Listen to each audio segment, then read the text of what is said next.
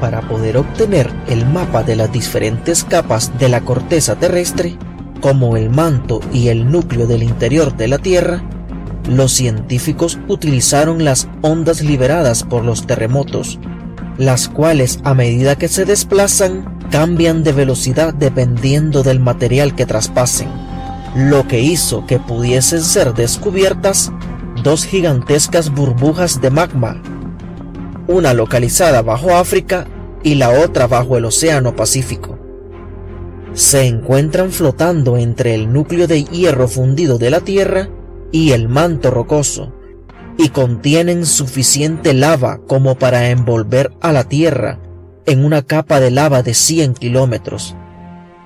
Los científicos afirman que estas burbujas de magma están compuestas de rocas fundidas que se remontan a los inicios de la Tierra, y estas podrían ser las responsables de la gran actividad volcánica en puntos calientes como Hawái.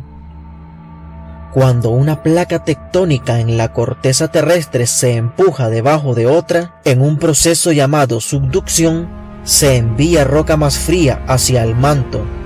Sin embargo, no ha sido introducida ninguna placa fría hacia estas dos burbujas de magma durante los últimos cientos de millones de años.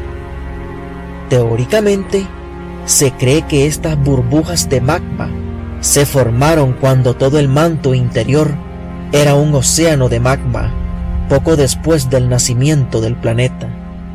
La roca comenzó a enfriarse y a cristalizarse, pero el hierro se mantuvo derretido en el océano de magma. Luego, cuando cristalizaron los últimos restos de magma, eran tan densos y ricos en hierro que se hundieron hasta el fondo del manto, formando estas burbujas. El impacto hipotético de un cuerpo del tamaño de Marte, llamado Theia, que supuestamente dio origen a la Luna, podría ser el origen de estas burbujas de magma, ya que podrían ser fragmentos de Theia, enterradas en lo más profundo de la Tierra. La cadena hawaiana es un tramo de islas y montañas submarinas que empieza en la isla grande y termina cerca de Rusia y abarca 6.200 kilómetros.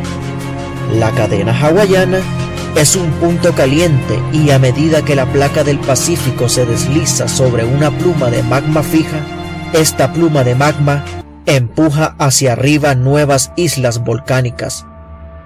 Nuevas investigaciones revelaron que esta pluma de magma hawaiana pudo haber surgido del borde de la burbuja del Pacífico.